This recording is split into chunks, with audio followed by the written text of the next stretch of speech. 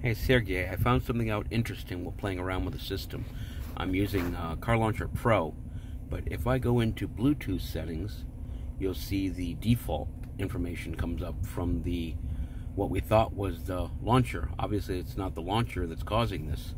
And what's even more interesting is now my door open indicator works. And even better yet, when I hit the home key, watch how this stays on top of Car Launcher Guru for a second before it, or uh, Car Launcher Pro, before it disappears. See, the information is still there before it disappears. So that's definitely not the launcher. That looks like some sort of widget or overlay. Is there a way to activate that widget or overlay when uh, you start up the launcher? Because as you can see, it's in memory now, and my car door open indicator works even on top of the uh, Car Launcher Pro.